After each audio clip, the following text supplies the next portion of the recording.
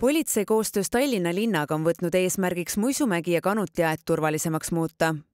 probleeme tekitavad kampadena kogunevad noored, kes rikuvad parkides seadust ning politsei tuleb sinna pea kaks korda päevas väljakutsetele sõita. numbrid on üsna kõnekad.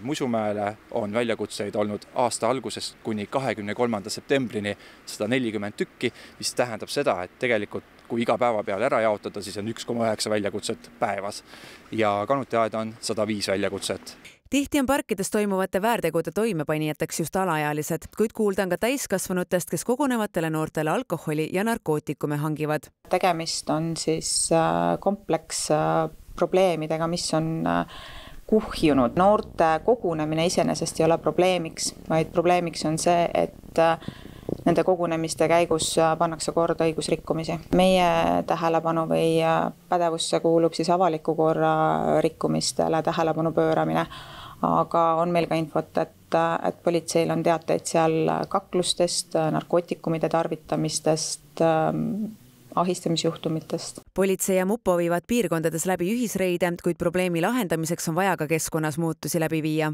selleks on kaasatud ka kesklinna valitsus ning Keskkonna- ja Kommunaalamet, et turvakaamerate võimekust ja valgustust parkides tõsta, selleks et rikkumisi paremini tuvastada. järgmiseks aastaks on siis äh, Musumäel plaan äh, valgustust täielikult rekonstrueerida, mis äh, peaks natukene siis seda valgustuse kvaliteeti parandama. seda me oleme ka koos politseiga vaadanud, et kuidas need kaamerad parkides näitavad kannutiaias äh, oleme rääkinud äh, äh, kaamera kvaliteedi parandamisest.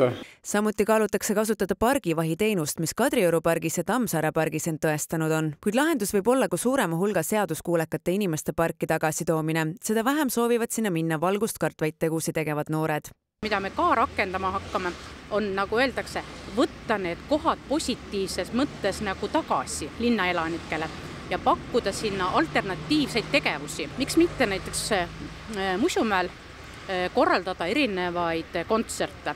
juba oleme ka korra seda katsetanud eelmisel aastal, Musumäe džäss võiks seal olla politsei palub inimestel korrarikkumistest teada anda ning kutsub üles vanemaid kontrollima, kus ja kellega nende lapsed aega veedavad. rõhutatakse ka seda, et Musumäel ja Kanutiaias käimist kartma ei pea ning kodanikele seal ohtu pole parkides käivad ka mobiilsed noorsootöötajad, kes suunavad lapsi huviringidesse ja noortekeskustesse.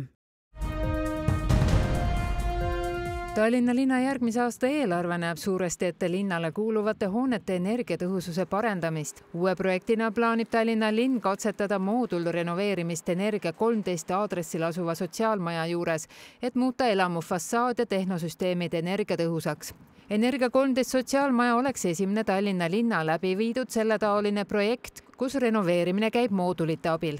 samal põhimõttel on varasemalt TalTech renoveerinud oma Akadeemiatee ühiselamu sisuliselt tähendab elaniku jaoks seda, kus pool aastat või rohkem ei ole hoone ümbritsetud tellingutega, vaid need eh, soojustuse moodulid on eelnevalt tehases valmistatud eh, ja, ja lühikese ajaperioodi jooksul siis nii-öelda kohapeal soojustatakse maja nende moodulpaneelidega. seal vahel on siis soojustusmaterjal, selle paneeli sees on ventilatsioonitorud, et ja mis siis omavahel nii-öelda ühendatakse koha peal osa uue aasta eelarvest on mõeldud ka päikesepaneelide paigaldamiseks erinevatele linnahoonetele praegu kava kohaselt peaks uuel aastal saama eh, päikesepaneelid eh, seitse erinevat siis sotsiaal- ja administratiivhoonet ning eh, kolm raamatukogu.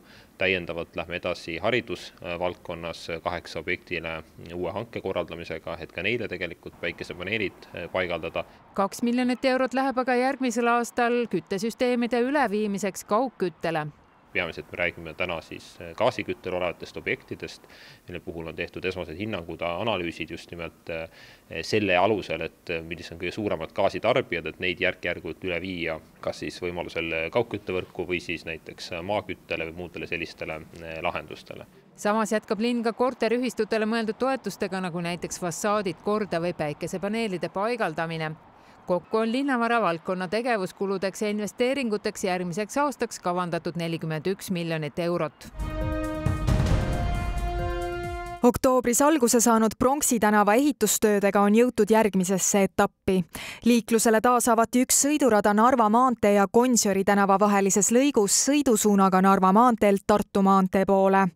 muudatus toob liiklusesse leevendust, eriti just tipptundidel alates Tartu maanteest äh, kuni Gonsiorini töötab äh, pronksi kahes suunas, mõlemas suunas üks rida. alates Narva maanteest kuni äh, Gonsiorini siis üks rida on avatud. Järjekordselt kutsume üles olema ettevaatlikud liikluses, ehitus on ehitus, siin on palju märke, liiklus võib olla selline hektiline, võib olla närviline, seetõttu tuleb olla äärmiselt äh, tähelepanelik. nimetatud lõik oli liiklusele suletud kahe nädala jooksul, et ehitaja saaks läbi viia suuremahulisi töid kommunikatsioonide rajamiseks Narva maantee ja Pronksi tänava piirkonnas. vaatamata rasketele ilmastikuoludele on töövõtja püsinud graafikus aga tuleb igaks juhuks arvestada sellega, et edaspidi võivad ka olla sellised lühiajalised katkestused liikluses, millest hakkame eraldi ka teavitama. Pronksi ja Jõe tänava rekonstrueerimine on üks mahukamaid objekte, mida Tallinn tänavu ette võtab. tööde käigus uuendatakse täielikult tänavaruumi, lisatakse haljastust ning luuakse turvaline ja mugav tänav kõigile liiklejatele, pöörates eriti suurt tähelepanu jalakäijate ja jalgratturite ohutusele Eesti Filharmoonia Kammerkoori, Tallinna Kammerorkestri ja Tõnu Kaljuste jõulueelne kontserdiõhtu toob sel nädalal Estonia kontserdisaali kõlama muusikalise saardekambrisse kuuluvad tippteosed. Need on barokiajastu suurkuju Antonio Vivaldi Gloria ning Georg Friedrich Händeli Dixit Dominus no see on periood muusikutele, kus põhiliselt esitatakse väga ülevat ja väga rõõmsat muusikat need ülevad emotsioonid on mõlemal heliloojal eriliselt kirkad, aga jõulumuusika iseenesest kannab ennast rõõmu ja need kaks teost on väga, väga helded ja väga rõõmsad. mõlemad väga, väga pidulikud teosed, küll väga erinevad. võib-olla, võib-olla jõululikum võiks, võiks, jõululikumaks võiks pidada Antonio Vivaldi Gloriat, sest et helistik on ka D-tuuris, mis on trompetitele väga sobilik ja üldse väga särav helistik. Vivaldi särava ja emotsiooniküllase tähtteose Gloria kõrval esitlusele tulev Händeli Dixit Dominus olevat helilooja esimene säilinud teos, mille ta kirjutas kahekümne kahe aastaselt ajal, mil asus Rooma õppima. on tõesti tunda, et ta on saanud Itaaliast tohutu inspiratsioonilaengu ja tohutult impulsse, nii et see on tõesti väga särav noore inimese kirega kirjutatud muusika. Aga ta on väga, väga suur väljakutse ja ma usun, et see, et see teos pääseb väga mõjule mitmeid sajandeid kuulajaid kõnetanud ja vaimustanud barokkmuusika tippteosed tulevad esitlusele Estonia kontserdisaalis juba homme õhtul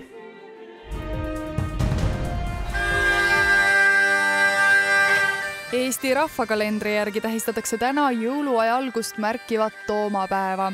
Peale selle, et tänasega on siis ametlikult pühad kätte jõudnud, pidavat muistse kombe kohaselt olema toomapäeval liikvel ka surnute hinged. kuid kes järgib täna vanarahva tavasid, sel õnnestub kurjad jõud järgnevaks aastaks siiski eemale peletada.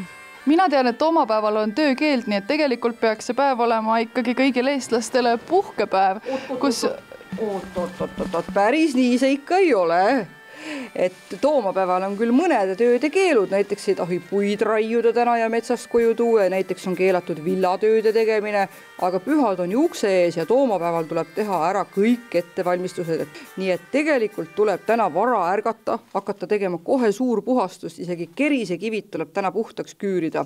kui toomapäeva jooksul on kõigi majapidamistöödega korrektselt ühele poole jõutud, siis kombe kohaselt tuleb ülejäänud kaltsudest, pesemislappidest ja õlgedest meisterdada kokku üks tontlik Tahma Toomase kuju kui sa pühid kodu puhtaks ja seda tahma Toomast teed, siis sa mõtled siia sisse kõik halvad asjad, mis sinu elus on. laiskus, lollus, lohakus, kadedus, haigused, surm, kõik, kõik lähevad siia sisse. ainus viis temast vabaneda on viia see naabri ukse taha. sest siis läheb temale halvasti, aga sul läheb väga hästi terve aasta